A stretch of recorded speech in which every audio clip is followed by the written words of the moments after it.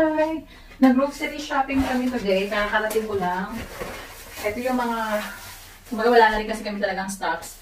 Tapos ito na yung kauna-una papakita natin sa inyo. Ito ang Lechay Baguio or China Cold in German. Kasi gagamitin ko siya on Sunday sa paggawa ng kimchi. May aatinan kasi ako na isang event. Actually, event. So, ilalagay natin sa ating fridge. Unahin ko lang muna yung mga frozen kasi hindi agad masira. Chicken cordon bleu, ayan. Double XL, kumbaga big na talaga yung binili ko. Tapos ito, maliliit na carrots para sa kids. Ayan.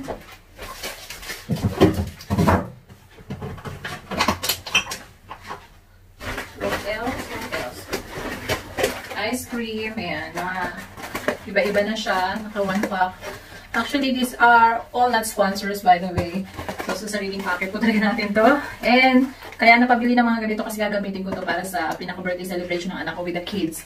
Kasi, uh, if you will remember ko ano yung sinabi ko before, halos three times ko talaga um, um, celebration ng birthday ng anak ko. Kasi, or birthday celebration ng anak ko is almost three.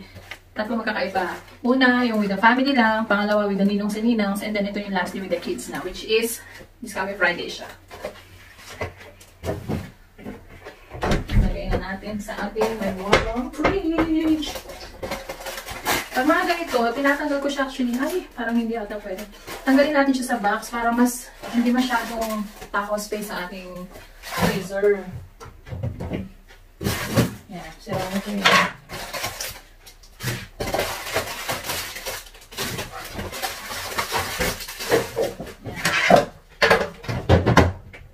So, what else, what else pa mga pinili natin? French fries. Ito, french fries, tapos cheese.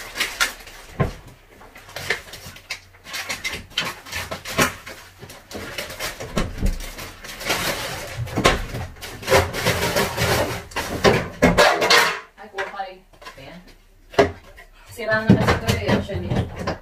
Sira na siya. Sira na yung cover. Ayan, dito kailangan matuto tayo na mag-sort talaga, mag-segregate ng mga basura. From papers to plastic, mga bottles, and then yung mga salo-salong basura na.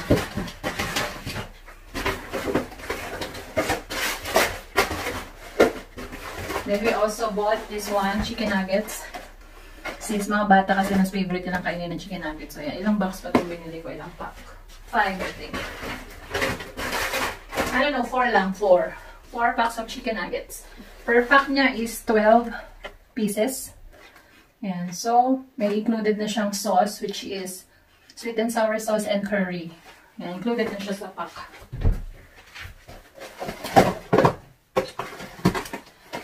I think tatanggalin ko lang siya sa pinaka-box. Para magkasya lang sa magkasya lang sa aking ano, freezer. Kasi, expiration naman niya sa October 7. Next year, gagamitin naman natin to this Friday. So, okay lang.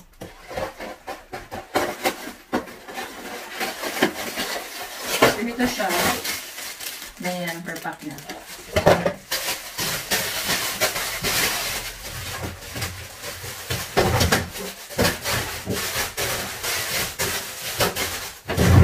And then,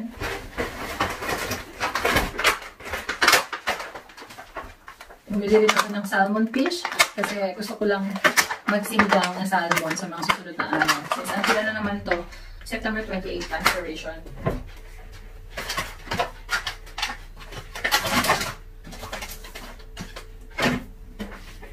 Ayan, next, next, next. Ito, napabili na ako. Pag yung mabilisan na luto na, yung hindi talaga ako. Although gumagawa naman ako ng lumpiang Shanghai, naisip ko lang na bumili na lang ng finished product na. Pero masarap naman to actually, natikman ko na to. So, with veggies and chicken na siya yung pinaka type of Rulings rolling kung tawagin in German, but uh, spring rolls in English yan. Ang laman niya per pack, apat, 4 pieces.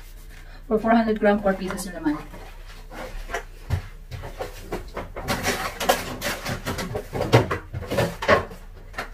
Kaya sira na naman ng diet.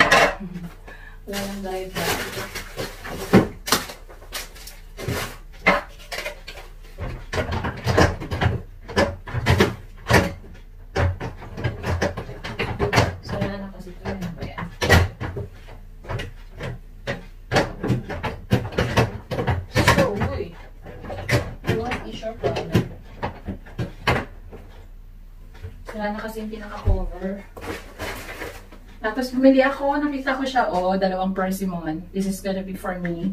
Kaya namimiss ko na siya. Ayoko ng sobrang hinog na persimmon. Gusto ko yung mga ganito lang.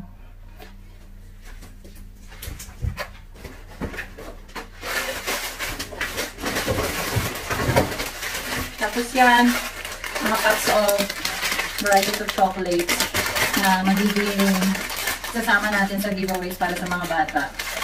Yan, mga gagawin nilang necklace.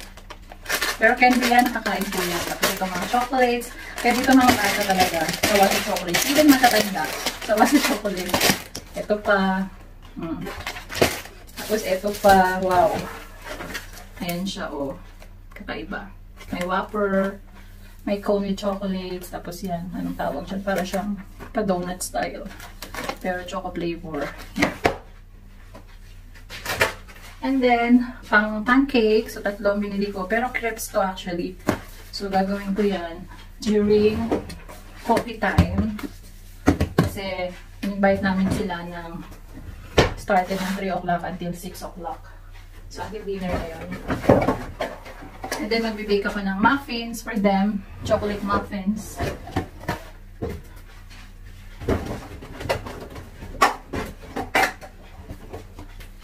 At bumili na rin ako na nakaka ng mga mushrooms kasi gagamitin ko siya pag gumawa magluto ako ng sopas. Kasi namiss ko na. And ayan, bumili na rin tayo ng mga tuna in can. So, mga mabilisang luto kasi wala na rin ako dito. Wala nang stocks.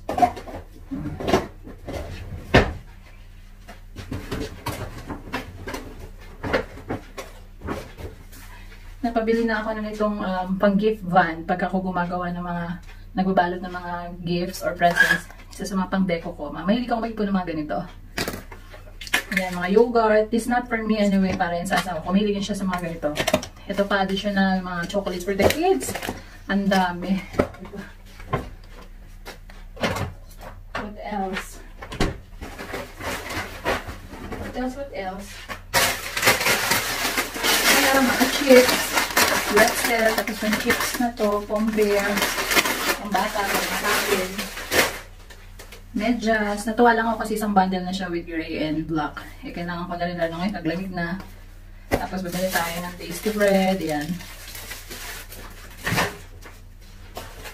Egg.